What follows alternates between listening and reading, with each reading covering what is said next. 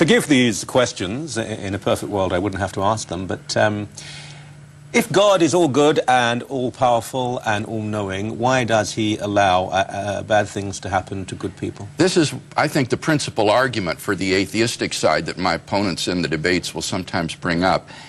And I think that there's a couple of ways to respond to this. First, it, we need to understand what the atheist is claiming here. Is he arguing that God and suffering are logically incompatible with each other? If he is, then he needs to show that there's some sort of implicit contradiction there because there's no explicit contradiction.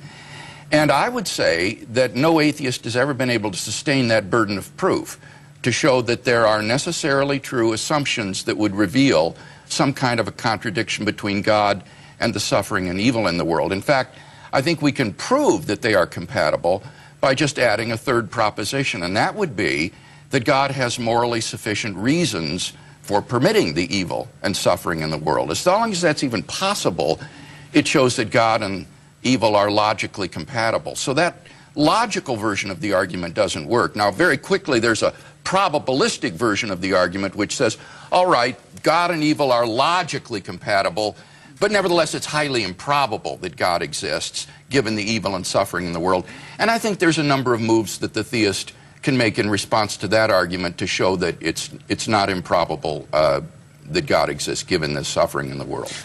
I happen to believe, and I'm going to try and be as objective as I can sure. throughout the debate, um, that the reasons why there is suffering and pain are entirely obvious, and in fact they're inevitable if there is a loving God. But mm. how would you explain them?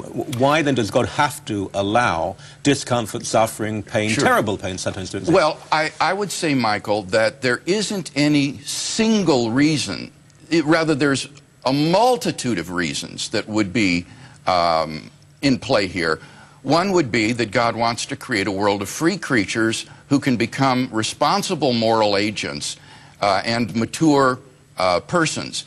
And that will require a world that operates according to certain natural laws mm -hmm. where the fire that warms you can also burn you, the water that sustains you can drown you. Uh, and it would require the ability of these creatures to do morally evil acts.